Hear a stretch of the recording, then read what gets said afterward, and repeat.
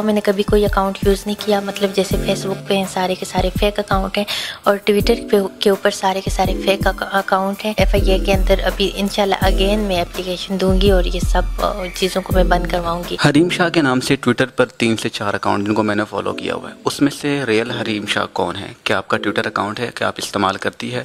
उसमें सियासतदानों पर तनकीद की जाती है वज़ी अजम तक को गालियाँ, धमकियाँ दी जाती है, अहम अहदेदारों को धमकियाँ दी जाती है। तो उसमें से आपका रियल अकाउंट कौन सा है? और जो लोग अकाउंट चला रहे हैं फेक अकाउंट क्या आपने रिपोर्ट करने की कोशिश की है उनको? देखें मीडिया पे आके जो बात की जाती है या इलेक्ट्रॉनिक मीडिया हो सोशल मीडिया हो प्रिंट मीडिया हो, मैंने हर जगह अपना बयान रिकॉर्ड करवाए और मैंने इवन के अपने अकाउंट के अंदर, मेरे ओनली टिकटॉक अकाउंट है और टिकटॉक अकाउंट के अंदर मेरा इंस्टाग्राम अकाउंट है, जहाँ, वहाँ पर मैंने लिंक दिया हुआ है अपने टिकटॉक और इंस्टा का। इसके अलावा मैंने कभी कोई अकाउंट यूज़ नहीं किया मतलब जैसे फेसबुक पे हैं, सारे के सारे फेक अकाउंट हैं और ट्विटर पे के ऊपर सारे के सारे फेक अकाउंट हैं और मैंने मीडिया पे आके खुलेआम बताया, अपने अकाउंट्स के अंदर वीडियो बना के अपलोड किया कि इस अकाउंट से मेरा कोई ताल्लुक नहीं है।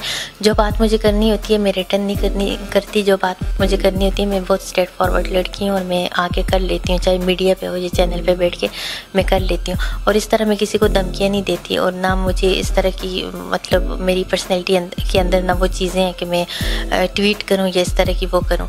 जब मुझे कोई बात करनी होगी तो मैं सरेआम करूँगी और वो सबको पता होगा क्योंकि मेरे अल्फाज में ही होगी और मेरे उसमें होगी।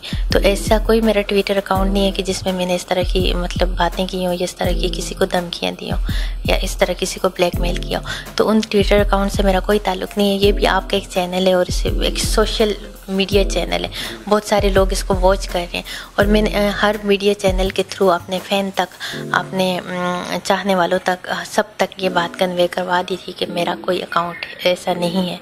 और इन बातों से मेरा कोई ताल्लुक भी नहीं है। जो भी कर रहे, पता नहीं किस मकसद के लिए कर रहे हैं मेरी पर्सनैलिटी को डैमेज करने के लिए कर रहे हैं जो भी कर रहे हैं ये उसका अपना एक फेल है। लेकिन उसको इतनी शर्म नहीं आ रही कि मतलब वो खुद गुनागार हो रहे। मैं मतलब किसी इस तरह की, की जी जी बिल्कुल मैंने एफ़ आई ए के अंदर अभी इंशाल्लाह अगेन मैं एप्लीकेशन दूँगी और ये सब चीज़ों को मैं बंद करवाऊँगी। बाकी बताना मेरा फ़र्ज़ था और वो मैं बता चुकी हूँ। आलमोस्ट हाँ जी आल जी बिल्कुल आलमोस्ट नेशनल टीवी के बड़े बड़े चैनल्स पे ये बैठ बात बैठ के मैं डिस्कस कर चुकी हूँ। जहाँ पे मिलियंस लोग मतलब देख रहे होते हैं और वो हाँ। बिल्कुल लाइव देख रहे होते हैं।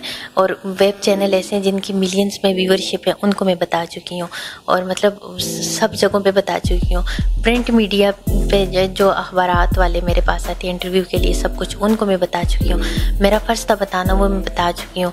अब कौन बाज नहीं आ रहा या क्यों कर रहे तो ये अल्लाह ही उसको मैं कहती हूँ, रमज़ान के मंथ में हदायत थे और बस मेरा कोई वो नहीं है। मेरे तमाम फ़ैन से अल्तमास है कि आप डेली न्यूज़ को लाइक करें फॉलो करें सब्सक्राइब करें और थैंक यू सो मच आप से मिलके बहुत अच्छा लगा और uh, आपका इंटरव्यू भी जिस अंदाज में अपने लिए मुझे बहुत पसंद आया अपना ख्याल रखें दुआ में मुझे याद रखें और मेरे तमाम फैंस प्लीज़ डेली न्यूज़ को लाइक करें। फॉलो करें सब्सक्राइब करें और शेयर करें। और अच्छे अच्छे कमेंट्स करना मत भूलिएगा। मेरे तमाम फ़ैन से अल्तमास है कि आप डेली न्यूज़ को लाइक करें फॉलो करें सब्सक्राइब करें। और थैंक यू सो मच आप से मिल बहुत अच्छा लगा और uh, आपका इंटरव्यू भी जिस अंदाज में अपने लिए मुझे बहुत पसंद आया अपना ख्याल रखें दुआ में मुझे याद रखें। और मेरे तमाम फैंस प्लीज़ डेली न्यूज़ को लाइक करें फॉलो करें सब्सक्राइब करें और शेयर करें। और अच्छे अच्छे कमेंट्स करना मत भूलिएगा।